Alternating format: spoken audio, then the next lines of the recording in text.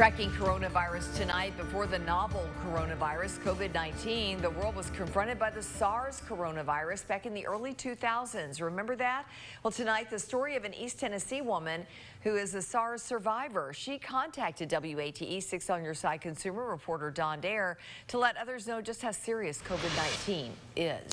Well, that's right, Lori. The outbreak of SARS in late 2002 and 2003 was a warning of our vulnerability in the face of Mother Nature. It was an epidemic that brought part of the world on the edge of panic. While the worldwide numbers of those affected by SARS is very small in comparison to the present COVID-19 pandemic, the virus SARS brought a lot of suffering to a woman who lives outside of Lenoir City. A good girl. Debbie Johnson and her husband Dale enjoy life to the fullest. He almost lost Debbie 18 years ago when she was exposed to the contagious virus called SARS.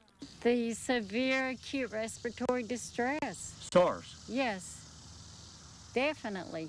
Debbie said she was working at a motel off I 40 when she contracted the virus, which at first she believed was the flu.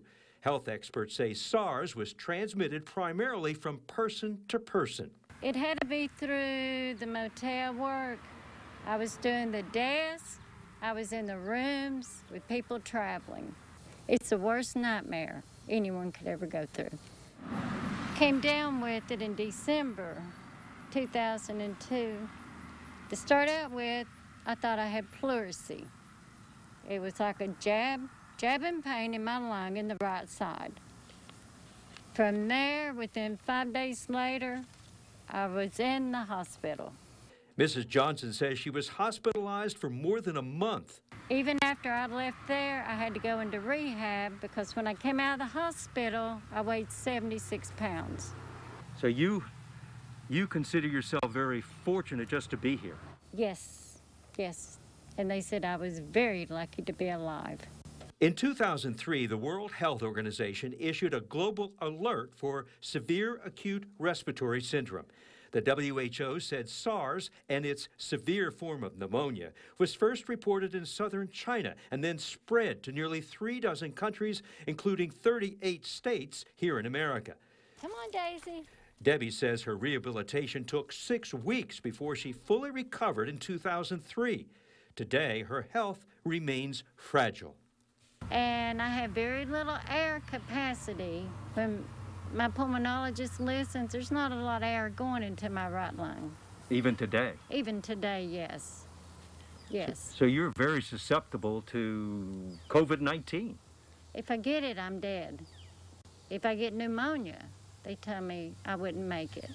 Debbie says she wanted to talk with us because of the national debate over whether one should or should not wear a face covering when in public. Her opinion is emphatic. Wear a mask. A lot of what you're hearing on TV about, you know, oh, it's okay not to wear a mask.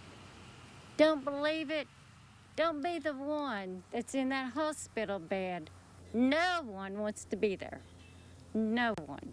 Only by the grace of God, I'm here now. That's it. Now, with the number of COVID-19 cases rebounding in Tennessee, Debbie strongly believes that if we follow the safety protocols outlined by health authorities, the curve will again be flattened. Incidentally, by the time the global outbreak of SARS was contained in late 2003, the virus had spread to over 8,000 people worldwide and killed almost 800.